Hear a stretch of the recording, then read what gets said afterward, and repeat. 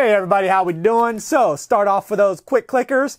I'm selling Key West art, focusing on fishing, local artists, a little better than my own artwork here. Here's some examples. Boom, they're uh, 8.5 by 11 prints with 11 by 14 frame, matte frame.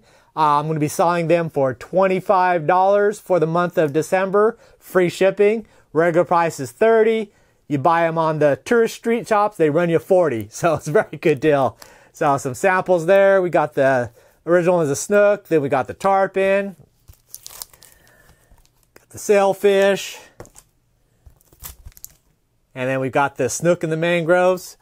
I also have a bunch of standard Key West style artworks as well. So check it out in the allaboutthebait.com category Key West art. Now hang around if you want the longer drawn out explanation. Hey everybody, how we doing today? So I'm an artist. Well, sort of. I'm going to sell it. Not that. But in my All About the Bait store, I'm going to have a new category and it's going to be titled Key West Art. And what it's going to be about is it's going to focus on local Key West well, our Florida Keys artists and specifically tailoring towards fishing art.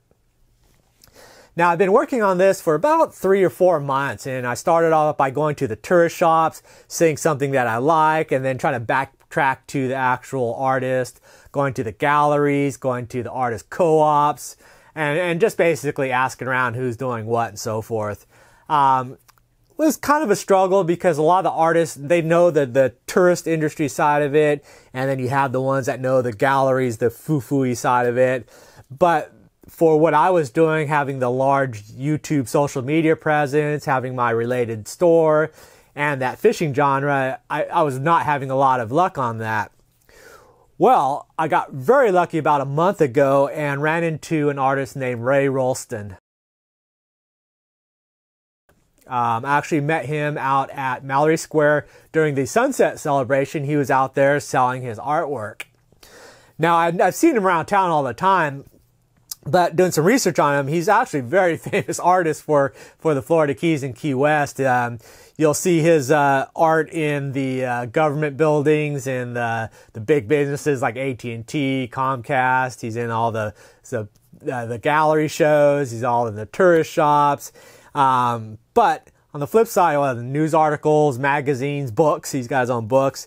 Um, but uh, the thing that clicked with me is that he was out there peddling his stuff right there in the tourist crowds at that Mallory Square. And part of that was that he was saying was, well, he could make more money selling $40 at a time than risking it and just doing a museum style piece and hoping someone buys it for $5,000 or whatnot. And that's kind of what I liked. And then uh, we talked a bit, and he was like, "Yeah, I'm all into that." So we set a meeting and got together, and I was telling him what I was looking for, and he's all, "Yeah, that's me." He was showing me a couple of his his uh, fishing stuff, but he didn't have a lot. But he was saying, "No, really though, that was my thing when I first came to the Keys." Uh, he was a diver, so he liked the underwater stuff, and that's a lot of his artwork focused on, as well as like the fishing related. Well, over Thanksgiving, he went back up uh, to see family and uh, he stopped by his studio in uh, Fort Lauderdale and uh, he brought down a bunch of his old uh, artwork that were like um, original artwork that he had finished, but he wanted to, to clean up. There was stuff he had started but never finished. And then on top of that, this last month, he's been actually redoing brand new uh, artworks just off of thinking about it. I was actually there today picking up some of these prints, and then he had a, two uh, new uh, pieces of art with basically one paintbrush in one hand, one in the other, and that artist thing, oh, I want to change this. If I do this and get the spectrum here, get more dimensionality here, and just really into it. It really fired him up getting back into this. And I also learned that since he started doing this, uh, a lot of the galleries were like, yeah, we want the fishing stuff too. So he's been punching out more of these uh, fishing style prints. So I guess it's just kind of one of those deals. But anyways, let me uh, show you some of his stuff. Um, this is Ray here. This is one of his uh, books there that he's created. It's got a lot of his artwork there. But uh, yeah, let me show you what uh, types of his products that I'm going to be offering. And this will be a good example, and I was lucky to start off with a very good one, but kind of what I'm going to be doing in this category for later on. But anyways, let me show you what we've got.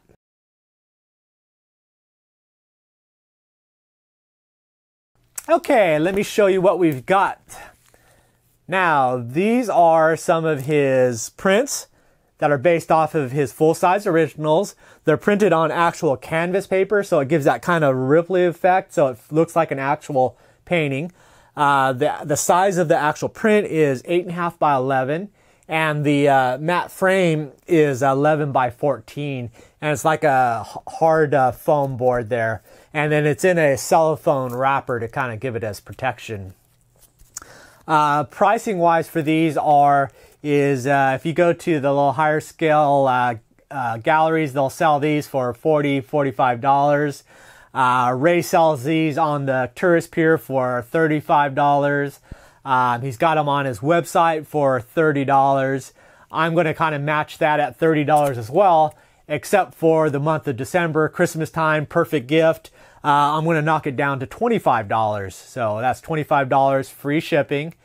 And uh, this one is his uh, artwork, which is kind of like a snook in the mangroves. Uh, very similar styles to my artwork here. So they're, they're very similar styles as you can tell. So very competitive. I, I just don't have the time to put my prints into prints, but uh, possibly down the road. But uh, anyways, that's the uh, snook in the mangroves there. I've got four fishing ones right now, and then eight just the tourist Key West ones, um, the Caribbean style ones. Uh, he was saying, yeah, you like those, you want those, but you got to remember what people out there might also want, and which is, is, is his top seller. So I've got eight of those as well. And the other two that he was working on, he should finish up this weekend, and I'll have those on the side as well. Then you've got this one here. You've got the sailfish there.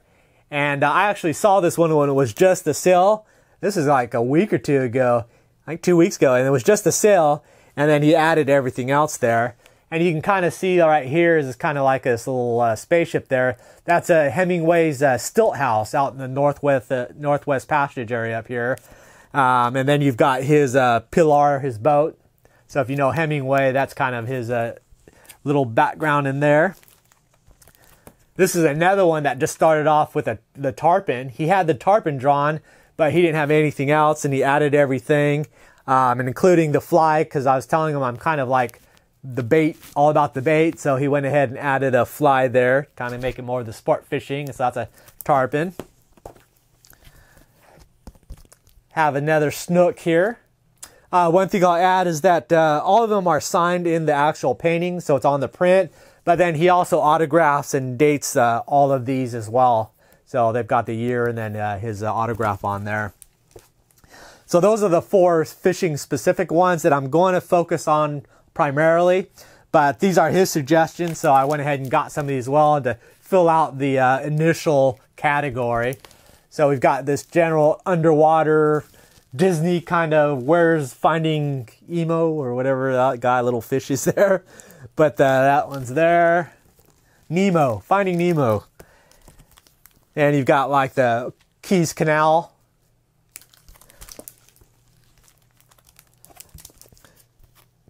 The QS colors. This is actually, yeah, on his uh, book jacket, his watch is his front page of the, the book, the cover. So that's that uh, picture there.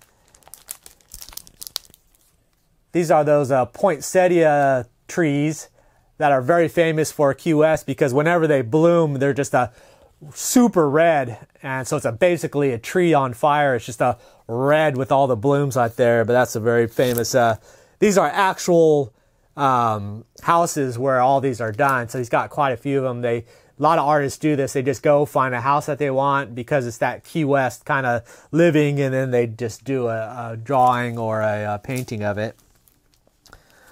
This is a landmark, Captain Tony's. Um, and then you can see the big Goliath grouper there. What you do is you stand underneath with your back towards it, and then you overhand uh, quarters and try to get it into his mouth.